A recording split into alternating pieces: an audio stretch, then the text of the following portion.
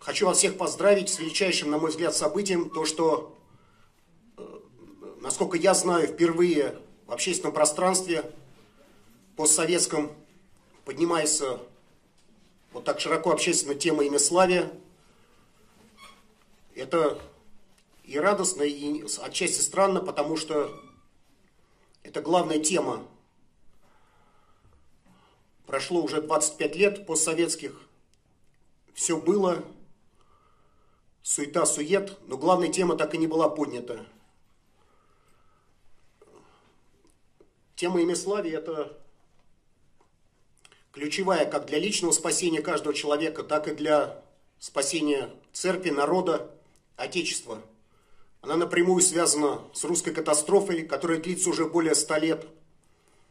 И именно похуление имени Божия и привело к тому, что разверглась бездна ада, которая в Священном Писании сказано Святым Духом, что бездна ада запечатана именем Господним. Конечно, человеку плотского мудрования, человеку бездуховному это невозможно вместить. Но, как сказал э, ангел святому э, Пахоме Великому, имя Божие столь велико, столь вседержительно, что оно содержит весь мир. Как вы знаете, в. Э, начале 20 века на Афоне, в этой стране монашества, в уделе Пресвятой Богородицы, возникла смута, связанная с тем, что отдельные представители монашества начали высказывать богоборческие, богохульные мнения о том, что имя Божие это фактически ничем не отличается от имени человеческого. И вот эта смута с этого и началась. Хотя ложь и клевета льется на имя славцев, их называют ими божниками, якобы они подняли вот этот бунт на Афоне. На самом деле, на самом деле это исторически и фактически не так. Кто хочет подробно ознакомиться с историей Афонской смуты, есть вот такая брошюра «Афонский разгром», где подробно изложено возникновение вот этого, этих катастрофических событий и их последствия. Тема имя славия, она настолько глубока, настолько необъятна, что за короткий период времени в нашего вечера мы только основные штрихи можем и должны исповедовать, основные штрихи, основные мысли, касающиеся вот этого. Надо сказать, что как тогда вот проявилось имя борчества которое началось вот с богохульных еретических высказываний, закончилось погромом афонских иноков и меславцев, выселением их с Афона. Даже были пострадавшие и погибшие при этом. Так вот это имеборчество, оно живо и действует до сих пор.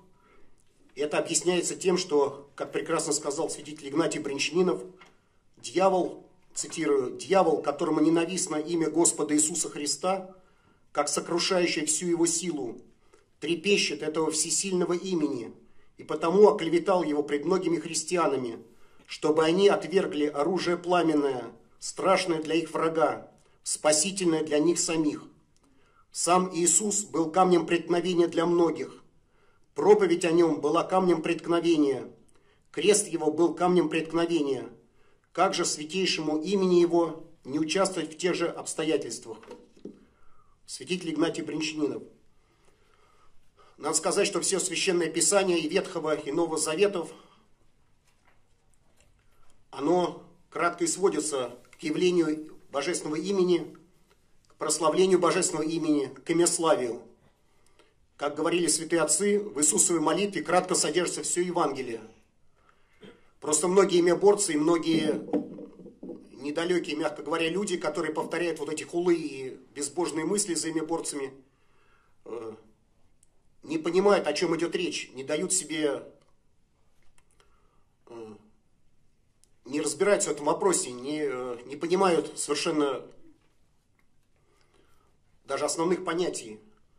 Э, на мой взгляд, вот как мне открылась эта тема, и как просто ее объяснить, э, дело в том, что имя, суть имени – это не буквы и не звуки, а имя – это как проявление сущности, как откровение сущности, в данном случае Божьей сущности, в тварный мир. То есть, или как божественная нетварная энергия. А звуки, буквы, это, конечно, это принадлежит этому тварному миру, и речь не об этом. Многие думают, что имя славцы вот начала 20 века на Афоне обожествляли буквы, звуки. Как один мне сказал, э, одержимый, так сказать, человек недавно, что ох, этот проклятый Балатович, Антоний Балатович, который защищал Имиславие, какой он мерзавец. Вот, мол, напишешь буквы Иисус Христос, вот и вот тебе и Бог. Я говорю, откуда ты это взял? Да вот в твоих книгах написано, которые ты распространяешь. Я говорю, там такого не написано.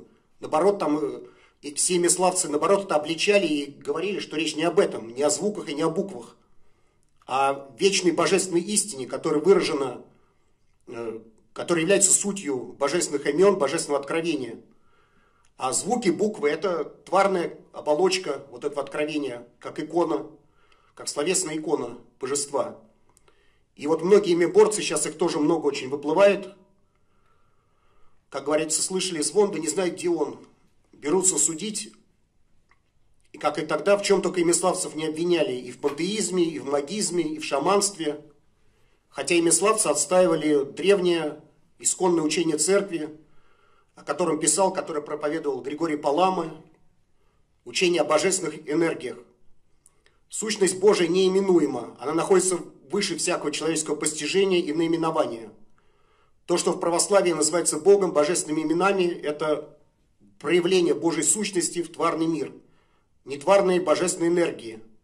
Только через них человек может познавать Бога, и суть православия, суть спасения состоит в том, что в обожении человека, то есть, что человек стяжает христианин по любви к Богу, по вере, стяжает божественную благодать, божественные нетварные энергии, которые делают его Богом по благодати, то есть изводит его из тленного, мимолетного, смертного полубытия приобщает к вечной подлинной реальности, к вечной жизни, к Богу. На самом деле временное, говоря своими словами, если вы глубже задумаетесь, всем очевидно, что временная э, материальная наша жизнь – это не более чем призрак. Это мимолетное, зыбкое э, такое полубытие, которое дано нам только с единственной целью, чтобы человеческий дух определился дальше в вечности, с Богом он или в отвержении от Бога, чуждой Творцу. И единственная подлинная реальность, подлинная жизнь – это только Бог. И человек может приобщаться к Богу и познавать Бога только через его вот откровение, через его энергии, через его благодать. Имен божественных много. И чудесно, что даже если вы будете размышлять о божественных именах, то какое имя божественное не возьми, в нем присутствуют и все остальные имена – Допустим, если взять слово «вседержитель», это и Господь Иисус Христос, и Святой Дух, и Святая Троица, все божественные имена, они присутствуют в каждом божественном имени. Божественное имя неотделимо от Бога. Это элементарно даже доказывается тем, что нельзя похулить Божие имя, не похулив Бога. И когда имеборцы э, выдвигали всякие богохульные бредовые теории, что значит, имя само по себе, Бог сам по себе. Это совершенно не так. Надо понимать, что у Бога слово есть дело, Бог слово. Это не то, что человеческие, человеческие слова, имена, которые, как учат святые отцы, текучие и пусты. Бог слово, для Бога слово это и есть дело. Как Евангелие говорит, что как Господь возвал, Лазарь, иди вон, и вышел мертвец как, э, ну то есть, слово есть дело. И вот это не могут многие понять. Также Бог вездесущ, Бог вседержитель, всеведущий. Поэтому, когда человек произносит божественные имена, он хочет того или не хочет, он соприкасается с божественной реальностью, с божественной нетварной энергией. Другое дело, что плоды этого соприкосновения могут быть разные. Человек может спасаться, может в осуждение прикасаться к этой реальности – может от этого погибать, может спасаться. Это зависит от произволения и веры человека. Но божественная энергия неразделимо соприсутствует всем божественным именам. И как апостол говорит, Слово Божие живо и действенно. Тем более имя Божие. Оно неразделимо, неотделимо от Бога. И вот э, именно события начала 20 века было известное постановление Синода мая 1913 года, которое содержит еретические учения об имени Божьем. Вот это похуление божественного имени, то есть похуление самого Бога, оно и сняло эту печать с бездны сада, с бездны ада. И мир покатился, ад вышел наружу. Началась Первая мировая война, революция, красный террор – была полностью сокрушена христианская цивилизация. Когда одному имеборцу, высокопоставленному, уже после революции, в разгар красного террора, сказали, владыка, это же антихристы, сатанисты. Они, ну какие то он ответил, ну какие там антихристы, обычные разбойники. То есть этот имеборец не только не понял природы божественного имени, но не понял и природы революции, и природы того зла, которое явило себя после 17 года. Это никакие не разбойники, а это чисто дьявол, сатана, падшие духи, демоны вышли из преисподней, и произошло массовое вселение их в людей, массовая одержимость, массовое беснование. Как вы знаете, уничтожение всей христианской культуры, истребление христианского народа, создание так называемого новой общности людей, нового государства, так называемой сатанократии – и вот как бездна ада была распечатана похулением Божьего имени, так и обратно, дьявола в эту бездну можно загнать только божественным именем. То есть дьявола может победить только Бог. И наша задача православных христиан, призывая имя Божие и божественные имена, и главным образом имя Спаса нашего Иисуса Христа, поражать дьявола и содействовать тому, чтобы, как некогда Лазарю, Господь воскресил, как некогда Лазаря, Господь воскресил поверженную гниющую, смердящую Россию. Но для этого нужна вера в божественные глаголы, в то, что Господь сказал, Лазарь, иди вон, и мертвец воскрес и вышел. И вот эта вера требуется от нас, и надо поднимать знамя имени Божьего. В этом, в этом на самом деле величайшая тайна и восторг церкви, что с нами Бог – не как-то там умозрительно, образно, а в истинной церкви действительно воинствует, побеждает и спасает истинную церковь живой Бог, который присутствует э, в своей церкви до скончания века. Хотя церковь может быть выраженной в одном человеке, как в свое время в великом Максиме Исповеднике. Не будем забывать, что человеческое тело это тоже храм Духа Святаго. То есть церковь может быть выражена в одном человеке а многотысячные сборища со всей своей структурой, своим золотом и прочими земными богатствами, несмотря на все, так сказать, украденные у церкви атрибуты, это будет уже церковь фарисеев и лицемеров, лишенная Бога. И, кстати, вот в теме имяславия, эта тема поистине, она беспредельна, в ней раскрывается вот тайна э, церкви фарисеев, э, фарисеев и лицемеров, которые которым нужна церковь, все им, э, все им нужно, им не нужен живой Бог. Как вот знаменитая беседа с инквизитором, что виноградник захватывают злые делатели, у них паства, они пасут свою паству, церковь, все как есть. Но Бог зачем? Бог им не нужен. У них есть видимость, они получают, так сказать, все земные блага от этого, пасут паству, есть видимость православия, но живой Бог им не нужен. Вот в этом трагедия как раз подмены церкви. Там, где нет живого Бога, там и нет церкви. Могут быть красивые слова, иконы, все что угодно. Но где нет живого Бога, там нет церкви. Вот кратко, наверное, что хотелось бы сказать.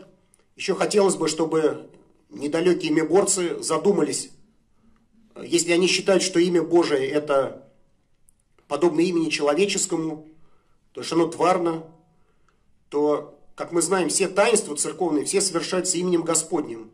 Начиная с крещения, крещается раб Божий такой-то во имя Отца и Сына и Святаго Духа. Аминь. Таинство Евхаристии, таинство отпущения грехов. Прощаю и разрешаю тебе от всех грехов твоих во имя Отца и Сына и Святаго Духа. Аминь, говорит священник. То есть все таинства совершаются именем Божьим. Тогда получается, что имя борца, отрицая божественность э, Божьего имени, получается, что они крестились во что? В пустоту, в прах. То есть э, имя борчества это полное отрицание, то есть удар в сердце православия, полное отрицание христианства. Просто на корню, полностью упразднение. Остаются пустые слова, оболочка, полностью упраздняется Бог. И вот это страшно, что кто по, неве, кто по неведению, кто сознательно злоумышленники. То есть они совершают духовное самоубийство, имеборцы. Даже если они когда-то были крещены, то отвергнувшись божественности, э, божественных имен, они тем самым полностью возвратили себя в духовное небытие. Хотя по жизни и так видно, что они никогда оттуда как бы и не, не возрождались, потому что, несмотря на многие громкие слова, всякие манифестации, мы видим жуткую пустоту. Православие это не просто слова, это жизнь в духе и силе, это победа, это живое богочеловечество и реальная победа богочеловечества над дьяволом, над стихиями мира сего. Это возможно только вот через приобщение божественных энергий, божественной благодати через имена Божии.